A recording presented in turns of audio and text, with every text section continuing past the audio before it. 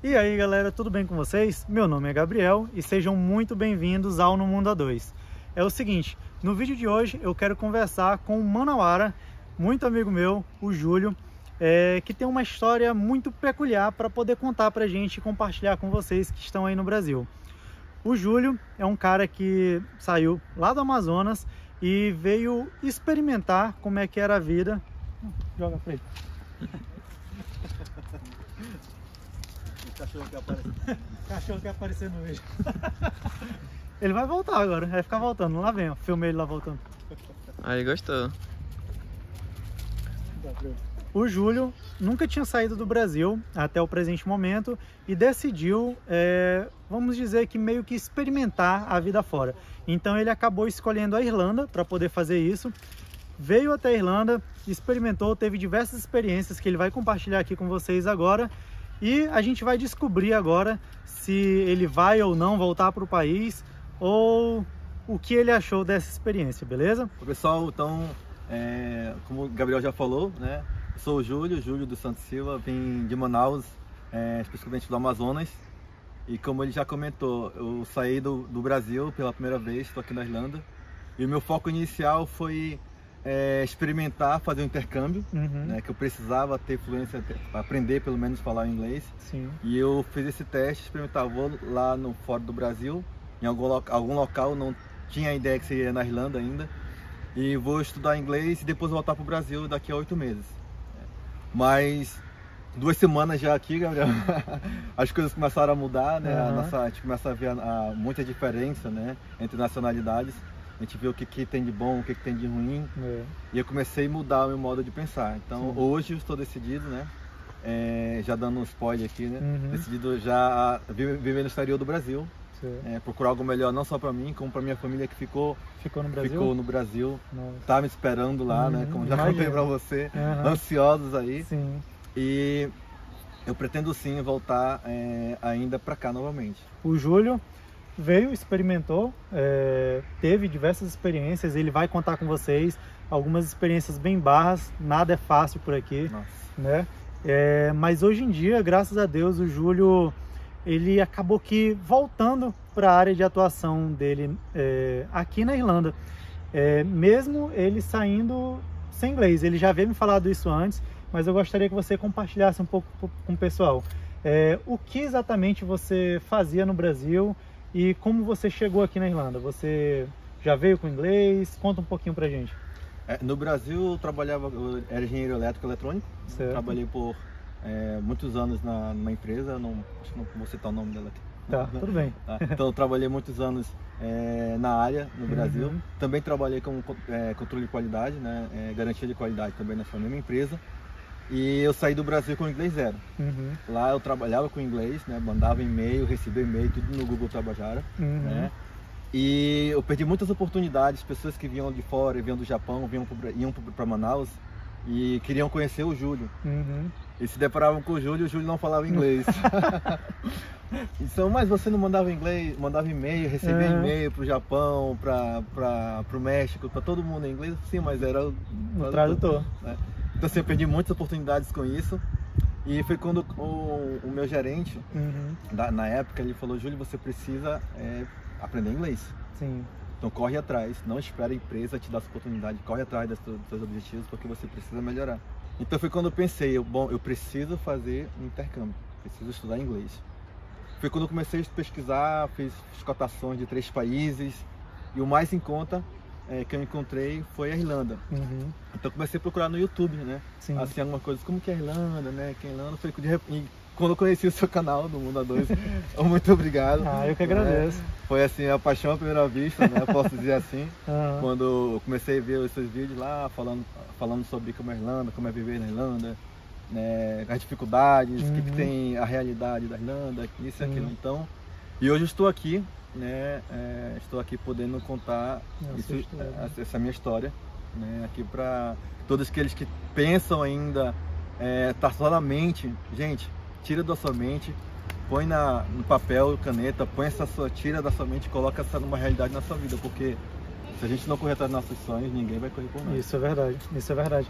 É, e eu gostaria agora aqui de agradecer todo mundo que já está aqui pela Irlanda, em Limerick, em Galway, Cork, Waterford, Dublin, é, todas as cidades que, a, a, acreditem, todas as cidades que eu ou eu e a Isadora acabamos visitando, cara, sempre a gente encontra algum inscrito que acompanhou a gente aí do Brasil e hoje em dia já está aqui na Irlanda. Então fica aqui o meu sincero obrigado, é muito bom, é muito legal o carinho que vocês têm com a gente, muito legal mesmo, e é isso que nos incentiva a continuar esse trabalho, beleza? É... E aí eu queria agora falar um pouco aqui com o Júlio é, a respeito da chegada dele aqui no país. Porque o Júlio, ele acabou chegando num período, vamos dizer assim, bem complicado. Porque ele chegou num período em que as fronteiras, vocês já conferiram isso no canal diversas vezes, eu estou acabando me repetindo nesse assunto, mas que, para quem ainda não conhece, ele chegou num período em que as fronteiras acabaram de abrir né, no país e está acontecendo uma guerra na Ucrânia, estão é, entrando refugiados no país, estão é, entrando estudantes que não podiam entrar até o momento, então está acontecendo uma superlotação, né, vamos dizer assim, Exato. do país. E quando o Júlio chegou, ele se deparou com isso. Por que, que eu disse que não foi nada fácil? Porque o Júlio vai poder compartilhar agora aqui com a gente, vou deixar ele falar é, o que aconteceu quando você chegou no país. Você veio para o intercâmbio, creio que imaginando uma coisa e deve ter encontrado algum cenário diferente. Ou não? Me conta como é, é que foi. Na verdade, eu já fui um pouco preparado através do seu canal, que você uhum. já tinha comentado como estava é, aquele momento aqui, uhum. na, aqui na, na, Irlanda, né? Sim. Mas quando eu cheguei estava pior ainda. Imagino. Porque já tinha muito mais ucranianos vindo para cá, uhum. muito mais pessoas que estavam entrando no país, estudantes, né? Então, naquele momento, a, a busca por acomodação tinha multiplicado, acho que uns 400%. Não acredito. Né? Uhum. Eu lembro que tinham locais que para alugar um quarto tinha na fila, média de 40 a 50 pessoas na fila, uhum. para alugar um quarto. Certo. Então, o landlord ou a landlord tinha que procurar, escolher, selecionar quem iria colocar para dentro, né? uhum. né? Então, para mim foi muito difícil, né, naquele momento, porque eu tive que, eu já tive, já saí do, do Brasil, eu tive que alugar já um quarto do Brasil, Aluguei um quarto aqui por uma semana. Então eu fiquei só uma semana nesse quarto. E depois eu fui para acomodação da escola. Uhum. E eu fiquei lá por mais de duas semanas. Então eu fiquei três semanas no aluguel. Sim. Então três semanas na época no aluguel é muito dinheiro. Para quando a gente paga com o nosso dinheiro do Brasil. Doido, né? é doido. Dói muito no Dói. bolso. Então foi um momento muito turbulento para mim, até uhum. eu conseguir algo específico para mim. Sim. Esse lugar que o Júlio acabou ficando, ele acabou se tornando com o tempo muito popular porque muitos estudantes e muitas pessoas que chegavam aqui na Irlanda encontravam nesse lugar uma única forma de morar. Inclusive o Júlio ele me falou uma frase muito interessante. Por quê? Porque esse lugar, sinceramente, ele não era ou não é dos ideais, entendeu? Porque lá na verdade era um antigo convento, é isso? Um antigo convento, exato. E o que foi que você me disse quando você falou assim? Eu até postei é, sobre isso. Você escreveu uma frase sobre aquele lugar. O que foi que você ah, falou? Aqui não é um dos melhores lugares para se morar, uhum. mas foi onde encontrei refúgio. Tá vendo? Então eu achei muito interessante isso quando eu vi é, o Júlio falando sobre isso. E mesmo sendo um lugar passageiro, deu frutos para o Júlio. Então eu queria que você compartilhasse um pouco sobre um pouco sobre o lugar e como foi sua história lá.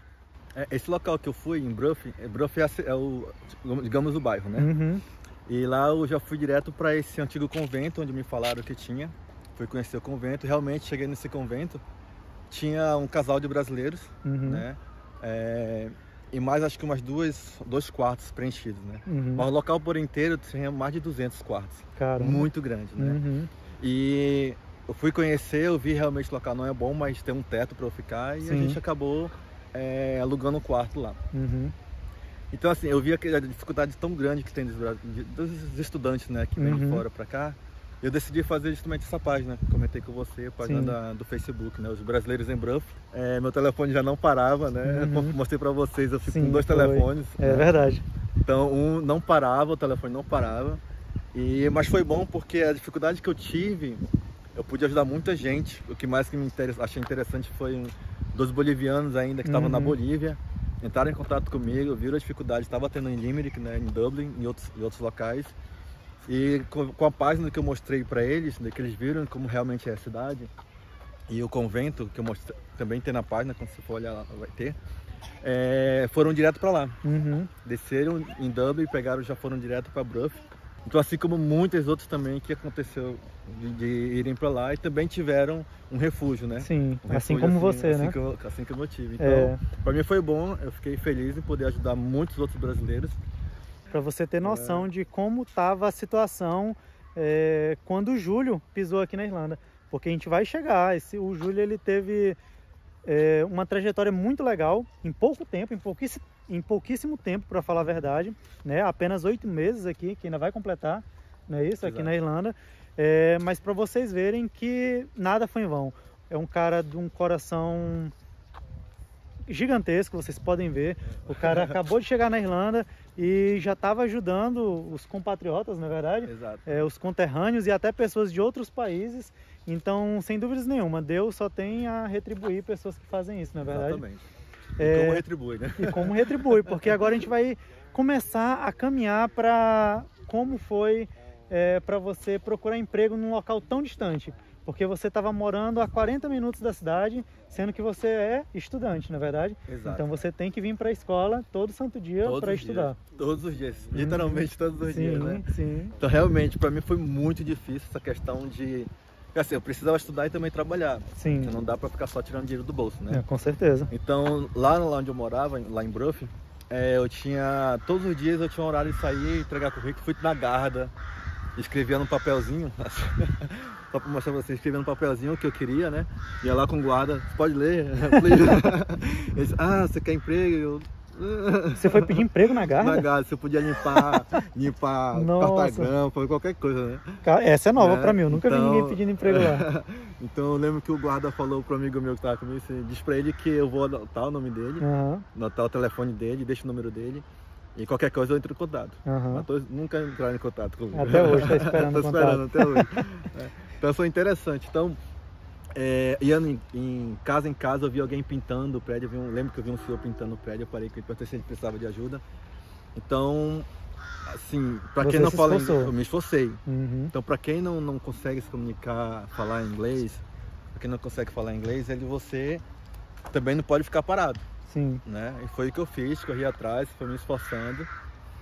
E até que essa questão do, de- do convento de Bruff, é, já voltando ao assunto de como eu consegui o trabalho lá, é, como eu falei para vocês, no Brasil eu, trabalho, eu, eu sou formado também em engenharia, engenharia elétrica e eletrônica, tá? E eu sei trocar uma lâmpada. Eu aprendi a trocar uma lâmpada, né? Acertei, acertei a- aprendi a consertar muita coisa, né? Não só pela, pelo curso. Mas eu vi que nesse convento era uma oportunidade para mim. sim. Aí, então eu cheguei no convento já vi que tinha muita área de manutenção para ser feita, né? Uhum. Quando, quando eu chegava lá o corredor, quando eu cheguei lá o corredor já tinha que passar o pé por cima dos fios, porque tinha muita fiação, muita extensão no meio do corredor, né? Corredor, cara. E foi quando eu percebi, ah, opa, tem uma oportunidade de trabalho aqui, porque se eu consertar isso aqui, talvez ganhe até um trabalho aqui. Ah, boa ideia. Foi quando eu tive a ideia de conversar com o dono de lá, né? com o gerente de lá. Sim. E só que ele falou disse não, porque já tem uma outra pessoa que faz serviço. É, então, quando- mesmo assim dizendo não, quando ele virou as costas, eu fui lá e consertei tudo. Deu pra consertar bem rápido. né? E quando ele chegou, ele ficou até feliz porque o serviço foi feito. E ele perguntou, "Olha, você pode consertar então lá em cima? Já começou a dar É. mais serviço. Porque o segundo andar também, também tinha muito, muita fiação, muita extensão no corredor, né? Eu falei, dá sim, dá pra consertar. E achou legal o serviço porque isso resolveu muito problema, porque toda hora o pessoal tava ligando pra ele, ó, eu tô com problema aqui, problema aqui, eu Eu preciso de uma tomada, né? Então Uhum. tava muito sobrecarregado. Porque acabou sendo um, um local muito improvisado lá, não foi? Para poder acolher essas pessoas. Ex- exatamente, é um local novo, foi improvisado justamente para acomodar pessoas, né? Como eu falei, lá só tinham três, três quartos, quatro quartos, ou um pouco Uhum. quartos, né? E ele me deu o segundo piso para consertar, Uhum. é, consertou e esses 40, esses 40 quartos se ocuparam rápido. Em Sim. uma semana, 40 quartos ficaram bem preenchidos. Sim. E mas e aí? É, ele acabou te pegando para fazer esses servicinhos e tal. Ele chegou a te contratar ou não? Na, verdade, ele falou com o chefe, com o dono do prédio, falou, Aham. olha, tem, um, tem uma pessoa aqui, um brasileiro, que é engenheiro elétrico, que já consertou algumas coisas. Aham. E eu estou precisando de alguém aqui para consertar outros, outros, outros problemas, né? Aham. E ele, o, de primeiro momento o dono falou que não, porque já tinha um outro irlandês que era responsável pela manutenção. Sim. Só que ele estava fazendo serviço. Né? É. Porque Dá, você- dá pra perceber, né? Exatamente. Ah, Então, é, nessa mesma noite, deu um apagão nesse prédio, Aham. no galpão que a gente estava, uma e meia da manhã, e de repente lá no quarto, toque, toque, toque, toque. É, quem foram procurar, né? Pra com consertar. certeza você. Exatamente. Então, Júnior, você, já com a ajuda de uma outra pessoa traduzindo, né? Aham. Você tem como é, dar uma olhada no quarto, né? Eu falei, olha, no- ou melhor, no prédio, eu falei, tá, vamos olhar, mas eu não conheço nada, tá tudo escuro, onde é que fica isso, onde é que fica aquilo, como é que eu vou saber onde tá o problema? E eu parei e pensei, bom, se é só esse galpão que tá parado, então não pode ser algo lá externo, algo da concessionária, deve ser Uhum. algo aqui dentro. Sim. Aí eu pensei de novo, bom, como eu já consertei as tomadas, deve ter uma sobrecarga de equipamentos aqui, já que é de Uhum. madrugada, então tá muito frio, tem muita gente usando aquecedor. É. Falei, onde é que fica o teu, a tua central de, de disjuntores, né? Uhum. Aí ele foi lá e me mostrou, com a lanterninha, né, tudo Uhum. escuro. Quando eu olhei, eu fui surpresa porque é diferente do Brasil. Uhum. No Brasil é disjuntor, né? Você Sim, seleciona, né? sim. E lá não é, não é disjuntor, são fusíveis cerâmicos desse tamanho, bem grande. Gigantão. Gigantes, né? Bem antigo, né? Bem Sim. arcaico. E era só remover e colocar um outro novo. Aí eu fui lá e chequei os todos os fusíveis e eu vi que tinham quatro fusíveis abertos. E aí você trocou? Fui lá no outro galpão fechado, que tava, não, tava parado, né? Aham. Peguei os fusíveis de lá e só fez substituir. Resolveu o problema. Isso foi o estopinho para que o, o dono do prédio falou assim, pode contratar o cara. Caraca, tá vendo? Mostrou o serviço né? primeiro. Mostrou o serviço. Pra depois De conseguir- graça, trabalhei de graça. É, imagina. Né? Mas ele falou, então, amanhã a gente conversa melhor sobre isso, você vai fazer o serviço que eu tenho para fazer. Tem outros amigos que precisam desse trabalho. E foi isso, assim que eu consegui meu primeiro emprego na Irlanda. Aham. né? Comecei, e, inclusive quando eu recebi meu primeiro 250 euros, ainda ele me pagou por isso, 250 Uhum. euros. Fiquei muito feliz por isso. Imagino, cara. Fiz um vídeo recebendo o dinheiro, né? Sério? Eu, vídeo, eu fiz um Ah. vídeo aqui, ó, o primeiro trabalho do Júlio aqui, Aham. recebendo 250 euros, me tremia todinho recebendo, Cara, contando dinheiro. massa. Mas fiquei feliz, né? Esse foi o início de tudo, né? Então assim, não dá pra chegar e ficar parado esperando o dinheiro cair do céu. É, que não vai. né? Não vai. Se você sabe fazer alguma coisa, vai lá e faz. É. Não precisa esperar alguém te pagar primeiro por isso. Uhum. E isso me deu um resultado muito grande, porque as pessoas começaram a ver meu trabalho, né? Uhum. E começaram a falar, falar, falar por aí. E um- dois amigos que eu conheci, que vieram da Bolívia, Aham. me chamaram para fazer um serviço na casa da professora deles, que eles estavam também fazendo um serviço para ela. Sim. Foi quando eu conheci essa, essa pessoa, essa professora de inglês também, né? E eu comecei a fazer serviço na casa dela e ela gostou tanto do serviço. Depois terminou o serviço que eu fui contratado para fazer com eles, Uhum. Aí ela dispensou eles, né? O serviço deles que já tinha terminado e começou a falar, Júlio, você pode fazer isso, pode fazer aquilo, você faz isso. E ela, eu, vi, eu vi que a casa que ela estava lá, ela estava em reforma. Sim. Então tudo que ela ia fazer, eu falei, olha, mas se você fizer isso não vai ficar legal, né? Melhor você fazer isso. Você dava ideia pra ela? Eu dava ideia para ela, né? E ela começou a gostar das ideias que eu comecei a dar para ela. Sim. Às vezes eu estava na sala de aula estudando e o telefone tocava, a mensagem, Júlio, você vai fazer o que depois da aula? Você pode me ajudar a comprar alguma coisa, porque eu gosto das suas ideias e tal. Uhum. É, e eu saía da escola, ela ia me pegar, então alguém ia me buscar, ela pedia para alguém me buscar, e eu ia Sim. fazer compras com ela para essa casa, né, Sim. da, da reforma. E assim que eu consegui, fico lá uma semana com ela, duas semanas, depois três semanas, e do nada, quando a gente percebeu, eu já estava morando, Já tava morando na casa dela. morando na casa dela, né, já Ah. conhecia a família, os filhos, né, Sim. e acabei ficando por lá. Então eu tô nessa casa lá até hoje, né, Uhum. fazendo, fazendo serviços. Que... E morando, né? E, e morando, né? Eu bom porque, como eu tô morando, já, e ela é professora de inglês, Uhum. então eu tô tendo aula de inglês dia e noite, né? Em É. contato com eles. Uma garotinha de 6 anos Aham. me ensina inglês, fala muito melhor do que eu. É muito legal isso, é muito legal. né? Ela conversando comigo, então assim, lá Aham. são 10 pessoas comigo. Então tem de 6 anos a mais de 50, não vou falar exatamente, não vou divulgar a idade dela aqui. Sim, sim. Então tem pessoas de 6 anos até essa pessoa, né? A Aham. idade, uma boa idade. sim. Então, assim, me ensinando inglês. Então, pra mim, foi uma oportunidade boa. Ótima, É. perfeita. Porque tem muita gente que, por exemplo, normalmente quem trabalha de babá aqui, seja homem ou mulher, é, elogia muito, porque é muito legal, porque você tem contato com as criancinhas e elas realmente te ensinam coisas tão básicas que é o que a gente precisa, né? ver- Na Exatamente. verdade, para poder falar. E aí a gente aprende o básico com as crianças e aí na rua a gente pega ali a conversa ali do dia a dia já com os adultos, na é verdade? Exato. Então o Júlio ele teve realmente uma imersão de 100% aqui na Irlanda. Porque além dele ser estudante, estudar inglês na escola, ele acaba tendo o inglês o dia todo, né? Porque ele mora Exato. com pessoas que só falam inglês. Então não tem para onde correr. E trabalhando na minha área, né? E ainda trabalha na área dele, Exatamente. que acaba sendo algo que muitas pessoas almejam quando chegam né, aqui na Irlanda. Porque atualmente o Júlio ele não está mais é, fechado ao serviço dele lá no convento, no convento né? em Bruff. Hoje em dia, agora mesmo, ele está aqui conversando com a gente rapidinho, mas ele já está aqui vestido e já pronto para ir para outro trabalho, é, que também é na área da elétrica, na área que é a área que ele entende, que ele já trabalhava no Brasil e creio eu que você não veio preparado para trabalhar na sua área aqui. Acabou sendo uma casa, acabou sendo não só um acaso, mas você fez por onde, né? Na verdade, para poder estar é. tra tá trabalhando. É, realmente, como eu falei, não vim, não vim com inglês para cá, nem vim preparado, porque eu já sabia, através do seu canal também, já tinha, uma pesquisada. Sim. Já sabia que meu pouco inglês que eu tinha, praticamente zero, eu não ia conseguir nada na minha área. Então, Você ia pegar outro tipo de trabalho, É, né? eu pensei que te importa, né? Uhum. peguei qualquer, qualquer serviço, né? Sim. Então, mas pelo contrário, eu fui surpreendido, né? Com, comecei a trabalhar em Bruff, né? no convento na minha área, depois saí de Bruff, é, vim para casa dessa família, né? tive inglês ali que eu não esperava, Sim. então pude sair do, vamos dizer assim, do zero, né? Indo falando em zero, não podia entender e não podia falar nada de inglês, que eu não sabia. Sim. E agora eu consegui em quatro, cinco meses, né? Mais ou menos cinco meses, eu já consigo conversar. Tem um nível de conversação. Um nível de conversação suficiente, né? Não é o profissional, né? Sim. Não é o o upper ainda, né? Uhum, a gente vai chegar sim, lá. Sim. Mas já, já era o suficiente para conseguir conversar com as pessoas. Sim. E através dela, dessa família também, né? Pude conhecer muitas outras pessoas aqui na Irlanda muito importantes, né? E também através dessas pessoas já, estamos com o objetivo de ajudar muito mais outros brasileiros aqui. Sim. Né? É, e, é, e é muito legal, porque e, e agora atualmente, por exemplo, me conta, você atualmente não trabalha mais em Brooklyn. Você agora faz trabalhos é, em outras cidades? Você trabalha para alguma empresa? Ou você está trabalhando atualmente por conta própria e tem os seus materiais? Como é que funciona?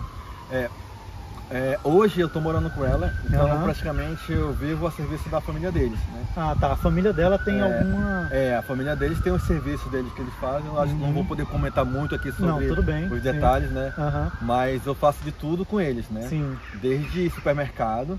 desde sim. supermercado, desde guardar o produto na casa, desde serviços do, da, de, de móveis que eles têm, né? Da, de tudo. É. Né? Então, isso me faz com que eu tenha tanto um, um trabalho, uhum. né? eu, tenho, eu tenho meu trabalho e, e a minha aula de inglês ao mesmo tempo. E a moradia. É, e, a, e a moradia, é. exatamente. Sim. Né? Ah, muito interessante. É, o Júlio comentou com a gente também que é, ele está num projeto aí que a. Não é nem para falar, né? Não sei se mas ele estava num projeto aí, está num projeto aí, é, que para você ver como o cara é de um coração enorme. Essa família, que atualmente ele está ligado, ele está em contato, é uma família que vamos dizer que eles têm um grande poder aquisitivo.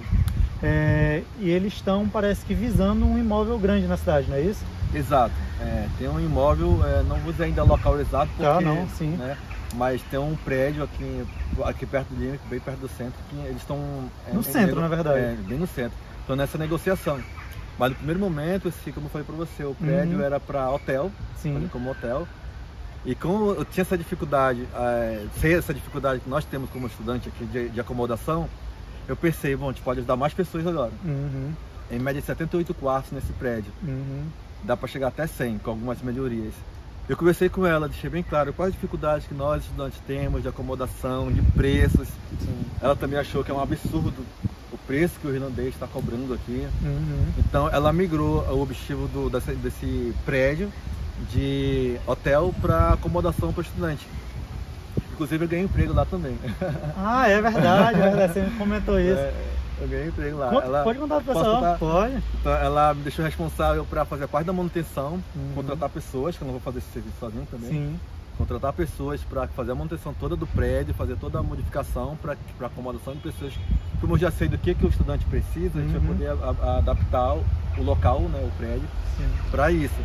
E depois que o prédio estiver em funcionamento, ela pediu para que eu ficasse responsável Sim. como gerente do prédio, né? para tomar de conta de tudo do prédio na parte de administração. Sim. Então, ganhei mais essa, mais essa moral, essa, né? Essa, mais essa oportunidade. É, né? sem dúvida, sem dúvida. Essa oportunidade aí. Bom, então eu espero sinceramente que vocês também, que estejam vindo aqui para a Irlanda, é, tenham essa mentalidade de sempre ajudar e sempre contribuir com a comunidade brasileira. Porque o Júlio, ele contribuiu desde, a primeira, desde os primeiros dias que ele pisou aqui em Limerick, para ser mais preciso.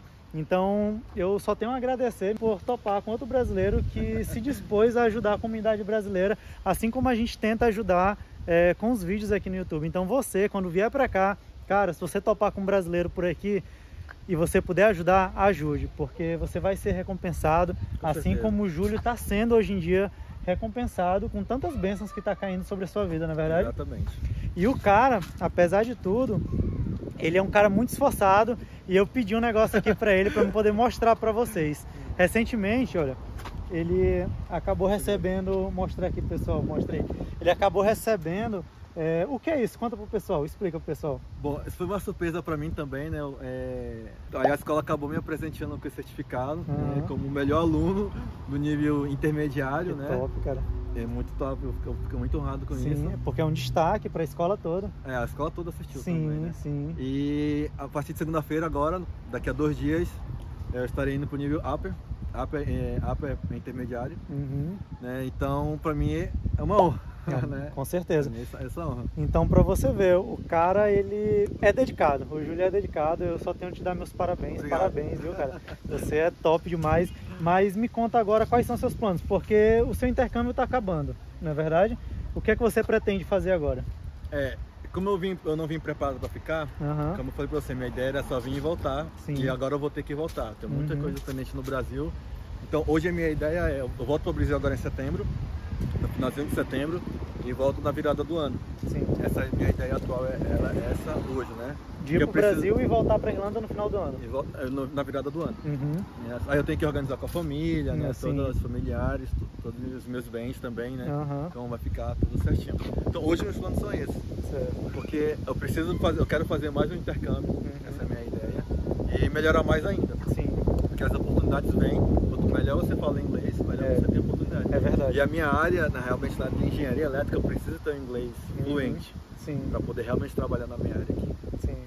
Que você já está caminhando, né? Você já percorreu um caminho muito bom. É. Viu, cara? Parabéns. É, essa- hoje eu cheguei não, não falava nada, né? Hoje Aham. já consigo conversar com o irlandês e quem conversa com o irlandês conversa com qualquer pessoa do mundo. Conversa. Em cara. inglês. Conversa. É. Porque o inglês deles é, é difícil. É difícil. O sotaque é bem complicado, é bem dificilzinho. Então, realmente, o que o Júlio falou é verdade.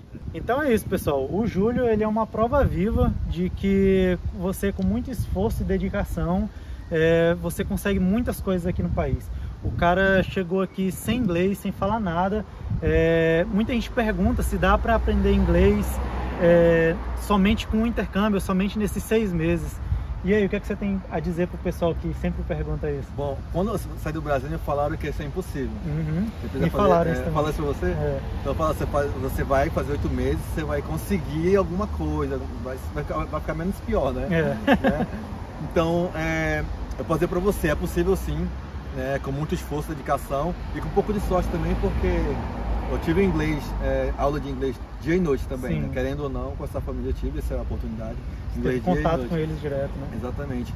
E o que vai fazer você é, voar no inglês é a sua prática. Verdade. É você falando. Se você falar errado, não tem problema. Alguém vai te corrigir, você vai, vai falar certo. Isso mesmo. Né? Não tenha vergonha, né? Exatamente. Então foi o que aconteceu. Em cinco meses eu consegui, é, já consigo hoje conversar né, em inglês. Sim, meus parabéns, cara, porque você evoluiu muito, muito bem. Eu não consegui é, evoluir tão rápido assim nesse período. É, confesso que você saiu muito bem mesmo, meus parabéns. E eu espero que mais brasileiros com um coração tão bom assim quanto o do Júlio, de sempre pensar no próximo para poder ajudar, venham aqui para Irlanda, é, porque sinceramente nossa comunidade brasileira precisa muito de pessoas que cheguem para poder somar, não é verdade? É, você quer falar mais alguma coisa para o pessoal? Bom, quero agradecer. Ah, né? eu que Primeiramente, eu, quero, agradeço. eu gosto sempre de agradecer a Deus em primeiro Sem lugar, que é o dono de todas as coisas e o, e o maior responsável por estar aqui, dessa oportunidade. Quero agradecer a você também.